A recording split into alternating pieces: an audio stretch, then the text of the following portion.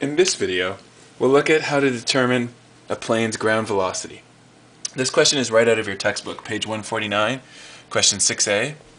It describes a plane that's going 175 kilometers per hour in a direction of north 8 degrees east, and the wind is coming from a direction of north 80 degrees east at 40 kilometers per hour. Let's begin by drawing a diagram. And we'll start with the plane's vector, which is north 8 degrees east, something like this. And then the wind is coming from north 80 degrees east, so it's headed in this direction, from north 80 degrees east. So we'll draw it like that. And this whole thing in here is 80. Let's set up a parallelogram. So this is our velocity of the plane and we'll attach the top the velocity of the wind.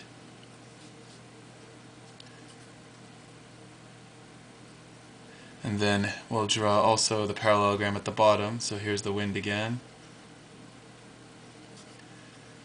And again the velocity of the plane. And there's our parallelogram.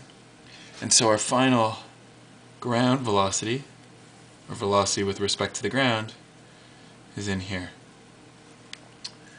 we need to calculate some angles first. We know this whole angle is 80, which means it's 10 degrees right in here to the axis. That's helpful because if it's 10 degrees in here, it's 10 degrees right in here. And now we know this whole angle inside the parallelogram. It's 8 degrees in here, it's 90 all the way in this quadrant, and it's 10 degrees in here. So that whole angle from this wind velocity right to the plane velocity vector is going to be 10 plus 90 plus 108. So that whole angle in there is 108 degrees. And that's really useful because it tells us the other angle of this parallelogram is 72 degrees. They have to add to 180. Same thing up here, 72 degrees. Because the C pattern, another way to say it, the 72 plus 108 are supplementary. So we can redraw that. Let's look at the diagram. And here's that velocity with respect to the ground. And it's made up of that plane velocity vector and coming back the wind velocity vector. But we know those magnitudes. In fact, let's put that on the diagram here. We'll go to solve. So the wind velocity is 40 and the plane velocity is 175 and we know this angle up in here is 72 degrees.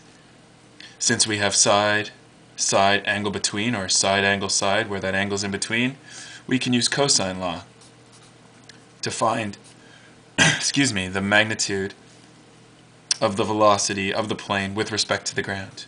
That velocity squared equals the other two velocities magnitude squared minus 2 times them times the cosine of 72 degrees.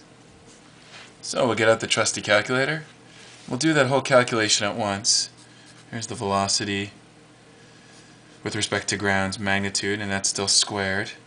It's 40 squared plus 175 squared minus 2 times 40 times 175 times the cosine of 72. And we get approximately 2000, sorry, 27,898.76208. And so to solve a square, we'll square root. You're going to have to round again. So what's the square root of 27,898.76208?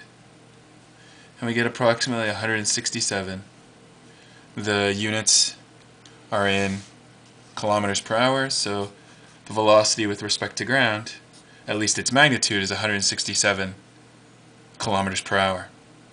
Now we just want to find this angle in the triangle, and we'll use that to determine the plane's heading. So this angle in the triangle, we can use sine law, the sine of that angle theta over the side across from it equals the sine of 72 divided by the side across from it, which in this case is 167. So theta is approximately, once again, use our calculator. I'm going to solve this all at once. I would times both sides by 40 and then inverse sine. So I'm going to do that all at once in my calculator. Inverse sine of 40 times sine 72 divided by 167. Close the bracket. And I get approximately 13 degrees. Now, we have the angle in the triangle, but remember, the angle of the plane's vector compared to the north axis here was 8 degrees, as in it's 13 degrees all the way across here, but 8 just between the plane's vector and straight north. In other words, the total angle to north would be 5 degrees west. How come? Again, it's 13 degrees all inside here, but there's 8 degrees here. It must mean there's 5 degrees in here.